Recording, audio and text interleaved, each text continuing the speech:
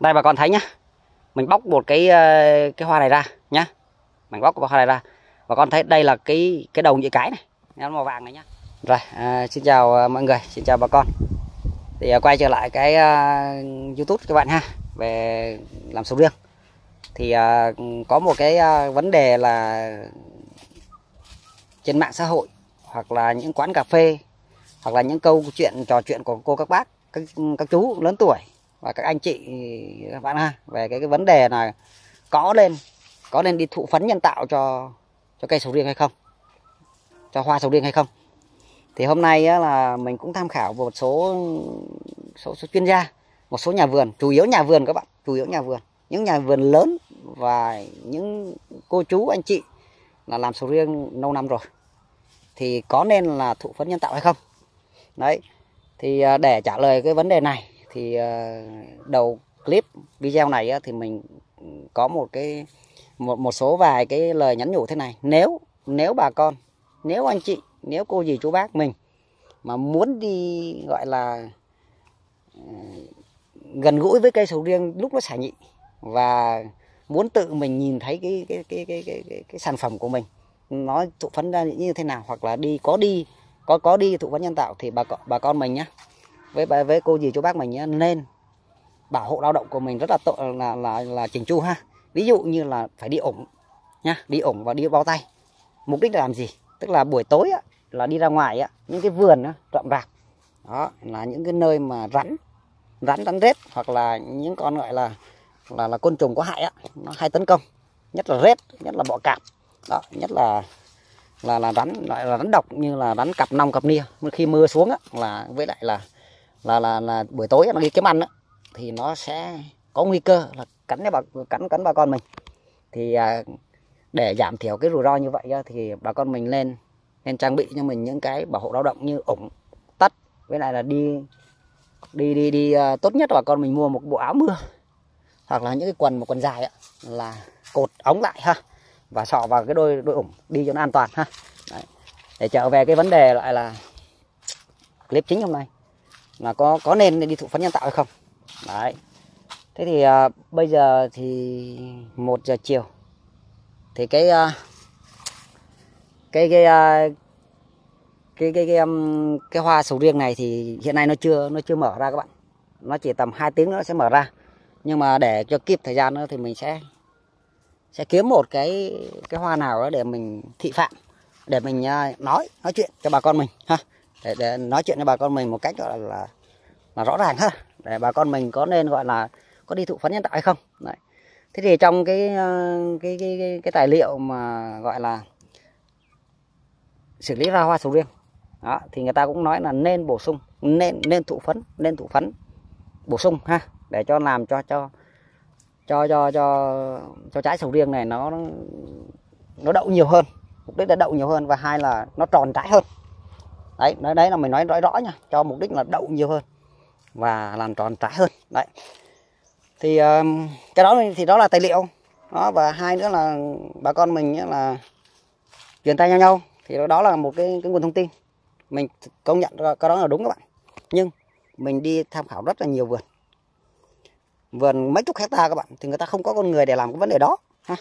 Không không không không có cái vấn đề để làm cái cái cái vấn đề thụ phấn như vậy thì người, bình thường thì người ta vẫn đậu bình đậu rất là nhiều các bạn.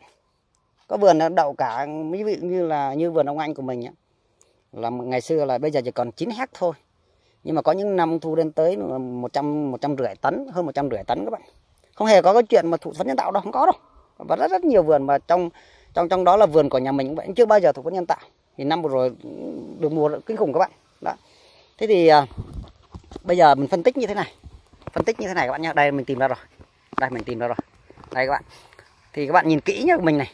Đây này, bà con mình nhìn kỹ cho mình nhá. Đây này. Đây nhìn kỹ cho mình. Đây nguyên thủy của nó là cái cái cái này ngày hôm qua các bạn. Nó rớt mất rồi. Đây nguyên thủy đây.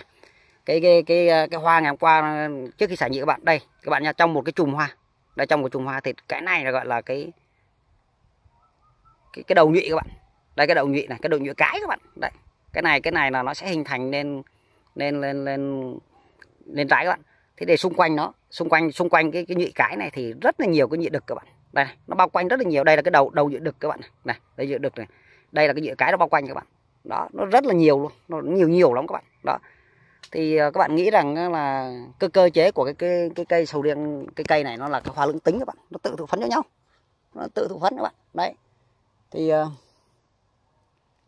nó nó mình các bạn cho con nó bây giờ mình quay để mình tìm cái này. Mình tìm một cái rồi nó chưa rớt các bạn. Nó chưa có nhiều cái nó rớt rồi các bạn. Nó thụ phấn xong nó rớt rồi. Đâu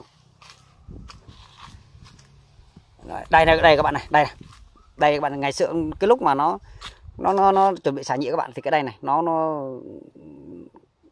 nó xẻ ra đẹp lắm. Xung quanh này, cái cái nhị à, màu trắng trắng các bạn này. Này cái nhị trắng trắng này. À, màu vàng vàng này. Đó, cái nhị cái các bạn. Xung quanh nó là là là cái à, một, gọi là cái cái đầu nhựa đực. Cái đầu nhựa đực nó sẽ có cái cái cái cái, cái nhiệm vụ là bung cái phấn các bạn. Bung cái phấn ra.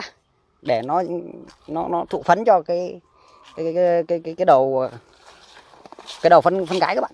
Đây. Cái đầu phân cái đây là các bạn này. Đây đầu phân cái đây đây đây là cái cái đầu phấn cái đầu đầu nhựa phấn các bạn này. Đây. Đó xung quanh đó các bạn tưởng tượng là xung quanh này xung quanh cái này là, là, là rất là nhiều cái cái à, đây này đây là các bạn đây đây là đây là để này đây là cái đầu à, đầu nhụy này đầu nhụy cái này ha. Xung quanh này đầu có đầu nhụy đực này. Đó khi mà thời gian sổ nhụy đó các bạn là cái đầu nhụy đực này nó sẽ phóng ra những cái hạt phấn các bạn để thụ phấn cho cái đầu cái đầu cái đó các bạn. Đó khi mà đầu đầu nhụy à, khi mà cái sự thụ phấn này nó nó diễn ra các bạn mà cái đầu, mà nó đổ phấn nó nó thụ phấn cho cái đầu đầu cái này thì hiện tượng đó là hiện tượng thụ phấn thành công các bạn. Đó thế thì xuyên suốt các bạn xuyên suốt cái ờ, cái cây sầu riêng này các bạn thấy hoa này. Nó kín như thế này luôn. Nó kín coi như là cả cây như thế này. Các bạn này cả cái cây này. Đó nó cả cây như thế này. Thì ờ, các bạn đếm một cây này. Một cây này ha. Nếu mà ai mà làm giỏi ai mà làm giỏi các bạn ha thì 100 trái. 100 trái bình quân nhưng mình nói bình quân nhá nhưng mình không nói những cái là, là là những cây xuất sắc hay là một số cây điển hình các bạn nhá. Một cây cá biệt nha thì cây ví dụ cây này 4 tạ đến 5 tạ trái thì nó chỉ tầm 100 đến 120 trái các bạn. Đó 100 đến 120 trái thì các bạn thấy là đây là một gọi là cả tỷ trái các bạn, cả triệu triệu trái, nhỏ nhỏ này, cả bông các bạn thấy đó.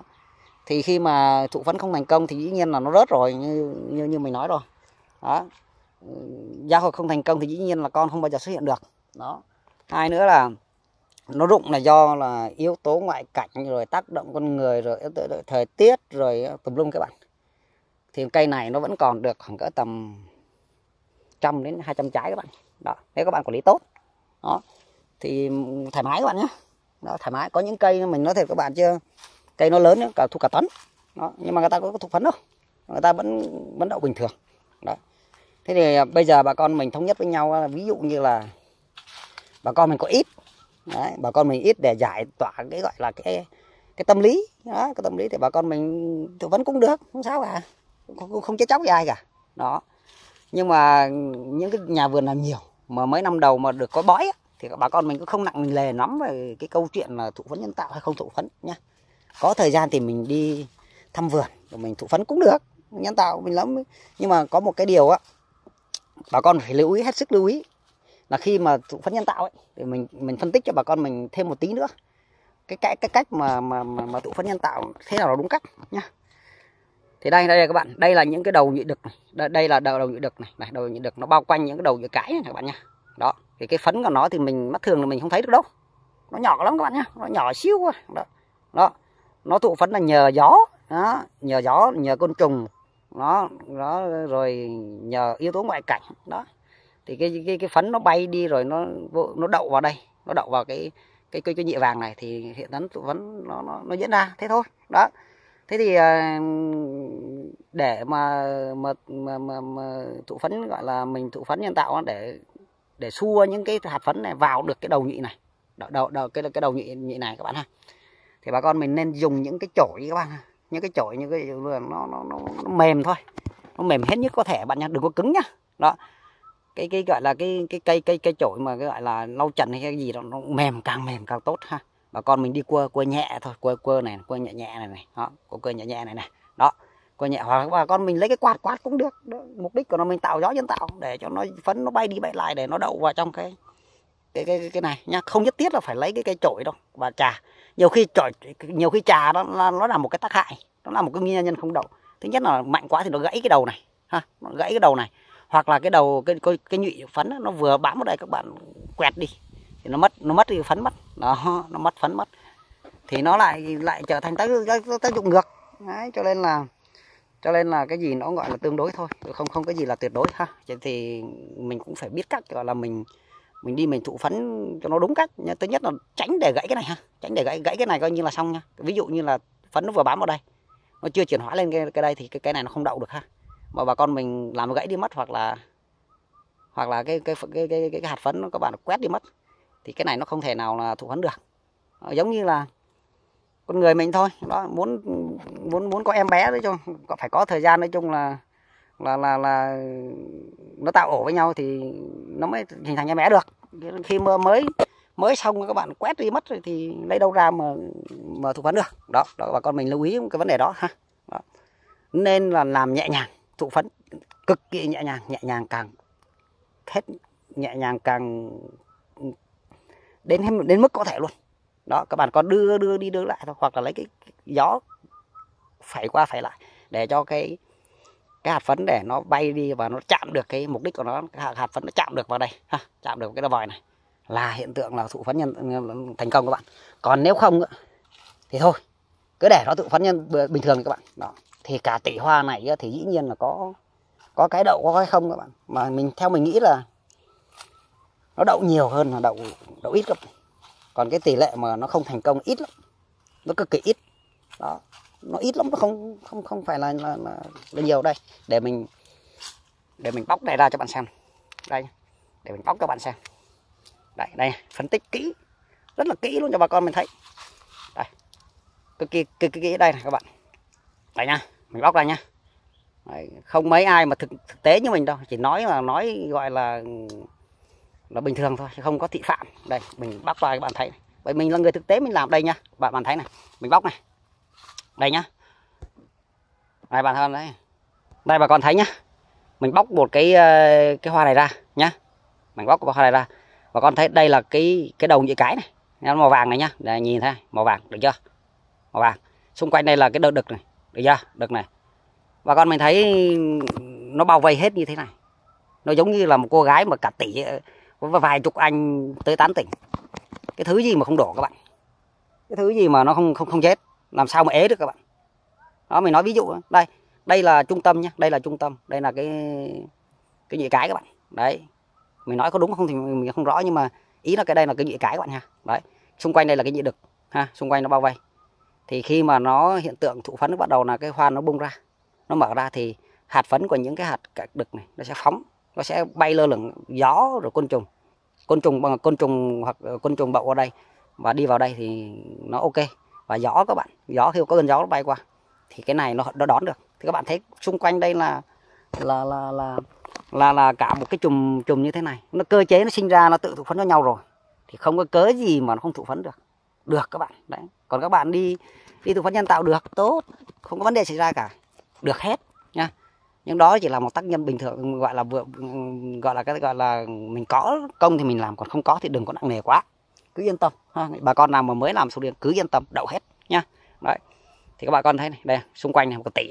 Khi nó bung ra thì xung là nó trùm một đống đấy các bạn này. đó. Thì cái nó đều, đều hướng vào đây thì cái cái hạt phấn nó thụ vào đây. Thì nó thành công các bạn gọi bà con ha. Đó, cho nên là cho nên là mình đừng có nặng nhọc về câu chuyện mà thụ phấn hay không thụ phấn ha. Đấy. Để mình làm một cái để mình mình, mình chụp một cái cái tấm hình các bạn để một chụp một tấm hình. Rồi để tí nữa mình, mình mình chụp ha. Đấy. Thì cái clip này mình giải thích rất là rõ giải thích rất là rõ về cái cái cơ chế hình thành gọi là thụ phấn của cái cái sầu riêng. Có hay không nên đi thụ phấn nhân tạo. Đó thì mình nhắc lại nhé các, các tài liệu về xử lý sầu riêng và một số bà con mình nhé, kinh nghiệm đều chỉ ra rằng nếu đi uh, thực phấn được nhân tạo thì nó vẫn tốt hơn. Đó, mình khẳng định nhá là vẫn tốt hơn. Đó. Nhưng là cái người làm vườn nhiều nhiều và lâu năm một số vườn kinh nghiệm người ta không thụ phấn vẫn đậu bình thường. Không có vấn đề gì hết nhá. Đấy cho nên là cái vấn đề mà đi thụ phấn nhân tạo hay không thụ phấn nhân tạo bà con mình đừng có nặng nề quá. Nếu ít bà con mình cảm thấy là mình đi làm cho vui. À, mình đi làm cho nó gọi là gần gũi với thiên nhiên. Ok vẫn thụ phấn được ha nhưng mà phải phải thụ phấn đúng cách nhẹ nhàng hết mức có thể nhá. Đó nếu không đó là trở thành tác dụng ngược nhá. Đấy nhẹ nhàng hết mức có thể. Đấy, cái vì nguyên nhân vì sao thì mình đã nói rồi nhá. Nguyên nhân vì sao mình nói rồi. Đó thì uh, để chứng minh cái lời nói của mình nhá, thì toàn bộ cái vườn của mình ở đây không thụ phấn nhân tạo một năm nào hết. Bà con mình thấy nó rớt này có rớt đâu. Đấy không rớt một tí nào nhá không rớt một tí nào. Đây còn nguyên si. Đấy còn nguyên si. Đấy thụ vẫn được vẫn là ok.